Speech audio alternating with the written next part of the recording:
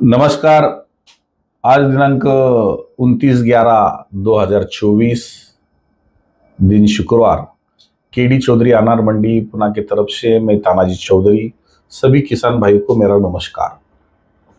बाज़ार की सत्य स्थिति में सभी किसान भाई को मैं बाज़ार की हलचल बताता हूँ, क्योंकि अभी महाराष्ट्र में माल कम होने लगा है और जो बगीचे हैं वो अच्छे हैं, अच्छे रेट में जा रहे लेकिन मीडियम माल भी है, वो भी अच्छे रेट में बिक्री हो रहे लेकिन अभी कुछ कर्नाटक में भी माल थोड़ा थोड़ा बैलेंस है, आंध्रा में भी है, उधर भी अभी क्लाइमेट खराब है, इसी, और अभी वो लोगों को भी रेट समझो सही मिल रहा है, लेकिन आगे जाके ठंड जब बढ़ रहा है, और दक्षिण भारत में जब बारिश का माहौल दिख रहा है तो इससे थोड़ा सा बाज़ार में गिरावट का माहौल अगर सामने आता है तो अभी माल निकालना ज़रूरी है।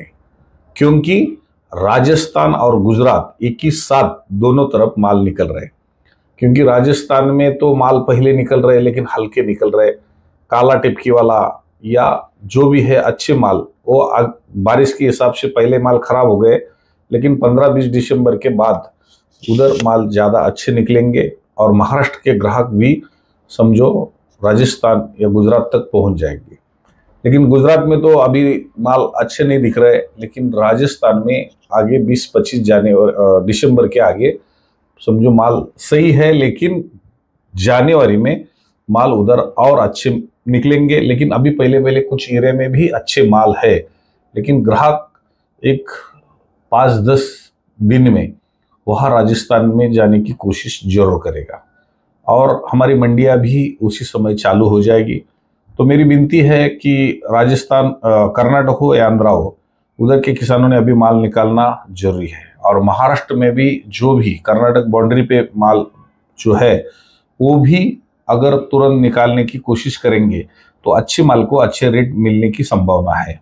क्योंकि ये साल महाराष्ट्र में बाहर से माल आ गए थे, उसमें आंध्रा था, कर्नाटक था। लेकिन गुजरात और राजस्थान के तो माल महाराष्ट्र में आती नहीं। गुजरात और राजस्थान में तो जगह पे, स्थानिक लेवल पे मंडियाँ है। लेकिन आंध्रा और कर्नाटक में मंडियाँ ज़्यादा नहीं होने से माल महाराष्ट्र में आया था।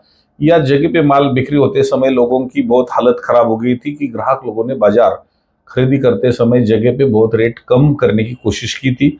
लेकिन उनको यहाँ केडी चौधरी यूट्यूब चैनल ये हर दिन सद्य स्थिति दिखती थी तो लोग बहुत से यहाँ माल बिक्री करना ही पसंद कर रहे थे। और अभी भी वहाँ से माल आ रहे और जो भी माल बच, बचे हैं और वो लोगों का माल जगह पे कम बिक्री में, कम रेट में मांग रहा है तो मैं सभी किसान भाई को बोलूँगा कि अगर कम रेट मांग रहा है तो आप खुले आइए, यहाँ की मंडी की हलचल देखिए और फिर जगह पे देना है, यहाँ तक लाना है तो आप सोचिए। क्योंकि ठंड के माहौल में माल खराब नहीं हो जाएगा, तीन, तीसरे दिन भी मंडी रहा तो माल को कुछ भी प्रॉब्लम नहीं हो जाएगा। तो जगह का रेट का अंदाज देखते हुए आप लोग पुनः तक अगर पहुँच रहे तो आप लोगों का ज़रूर पैसा बनेगा क्योंकि वहाँ से भी अभी तक माल चालू है, लोग संतुष्ट है। और राजस्थान के मेरे जो किसान हैं, उनको भी मैं जल्दी से जल्दी वहाँ मंडी चालू हो रही है। इसी हिसाब से अभी किसान भाई को दिलासा देता हूँ। क्योंकि वहाँ मंडियाँ चालू नहीं होती तो जो अच्छे माल है, वो माल कम रेट में जाते हैं। पहले पहले हल्के माल ज़रूर है, लेकिन अच्छे भी माल है, लेकिन हम जल्दी से जल्दी वहाँ मंडी चालू करने की कोशिश करेंगे। और राजस्थान उसके साथ गुजरात है, लेकिन गुजरात में माल भले ही हल्के है, लेकिन हल्के माल का कुछ एरिया रहता है, वहाँ के ग्राहक को जो पसंद होता है हल्के माल तो हल्के माल की पसंदी के हिसाब से वहाँ भी खरीदी रहेगी। लेकिन ये दो महीना, जो पिछले साल या उससे आगे जो रेट मिले थे, ये रेट मिलने की ज़्यादा संभावना नहीं है, क्योंकि ये साल हर एक स्टेट में एक ही साथ माल आया है। महाराष्ट्र में भी माल बंद नहीं हो जाएगा, माल चालू ही रहेगा, लेकिन माल घटेगा। लेकिन राजस्थान, गुजरात जब एक साथ आता है तो थोड़ा सा इफ़ेक्ट नक्की हो जाता है। लेकिन अच्छे माल का अच्छा रेट मिलने की संभावना ज़रूर रहेगी। हल्का माल का हल्का ग्राहक अच्छा ही भले हल्के माल का उठाव ले कर रहा है, लेकिन उसको भी रेट हिसाब से रहेगा। इसीलिए ज़्यादातर किसानों ने अभी माल जैसे ही तैयार होता है, पकता है, मंडी में लाना, मंडी में बिक्री करना पसंद करना ज़रूरी है या जगह पे भी अगर अच्छे रेट में ग्राहक मांगते तो देना ज़रूरी है। पिछले साल नवंबर में ज़्यादा माल राजस्थान में पक गया था, मंडी नहीं चालू हुई थी, और उसका असर नवंबर का माल का दिसंबर में हुआ था, लेकिन ये साल ऐसा नहीं, एक महीना सीज़न लेट है। लेकिन दिसंबर में भी थोड़ा थोड़ा माल चालू हुआ तो जल्दी निकल जाएगा, उसका कोई इफ़ेक्ट आगे नहीं हो जाएगा, क्योंकि पिछले साल नवंबर में ज़्यादा माल पक गए थे, मंडियाँ चालू नहीं हुई थी, महाराष्ट्र का भी माल खत्म नहीं हुआ था।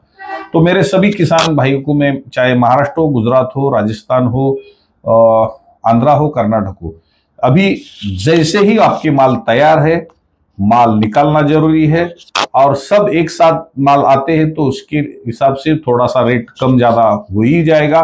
लेकिन जो मज़बूत माल है, कड़क माल है, उसी दरमियान हम माल तोड़ेंगे तो मंडिया दूर दूर की वो कवर कर सकते हैं। लेकिन माल और हो जाता है तो ग्राहक लोग वो माल को पसंद नहीं देते। इसीलिए अभी दो दो हज़ार, तीन तीन हज़ार किलोमीटर पे माल पहुँचता है। दो हज़ार किलोमीटर पे। तो चार चार पाँच पाँच दिन की सफ़र में माल खराब ना हो, इसी हिसाब से ग्राहक भी सोचता है, आप भी सोचना चाहिए कि कड़क माल तोड़े, अच्छे हिसाब से रहेंगे, क्वालिटी की वही दरमियान माल तोड़े। यही मैं सब किसान भाई को विनती करता हूँ कि रेट अगर गिरने नहीं देना है तो मंडियों के अभी हलचल देखना है और जगह का भी रेट देखना है और जगह पे देना है तो पूरा सरसकट देने के हिसाब से ही आप सौदा करना है। चाहे कौन से ही स्टेट के ग्राहक हो, किसान हो, क्योंकि सभी तरफ़ यही किसान रहते, यही व्यापारी रहते तो मंडियों में ज़ीरो से लेके हीरो बिकता है और अच्छे रेट मिलता है तो मंडियों में भी जाके आप देखना चाहिए। तो हमारी मंडी, समझो, महाराष्ट्र में तो तीन जगह है, नासिक में है इंदापुर में है और पुना में लेकिन गुजरात राजस्थान में हमारा जीवाना में मंडी है, जल्दी ही चालू हो रही है और गुजरात में भी कच्छ भुज में, वहाँ मंडी है, वहाँ भी हम जल्दी ही ये साल चालू करने वाले हैं। और इसी हिसाब से हमारे सभी स्टेट के किसान भाइयों को केडी चौधरी, एक अनार मंडी, अपनी मंडी लगती है और लोग हमें पसंद करते हैं क्योंकि हम एक किसान के बेटे के हिसाब से आपकी सेवा में हाजिर होते हैं और आप रहा देखते कि कब केडी चौधरी की मंडी चालू हो जाएगी। मैं बोलता हूँ, दोनों जगह में अभी जल्दी से जल्दी मंडी अपनी राजस्थान और गुजरात में चालू हो जाएगी। आप तैयार रहिए, हम व्यापारी लेके आएँगे और आपके रेट का अच्छे से अच्छे दाम मिलने की हम कोशिश करेंगे। धन्यवाद।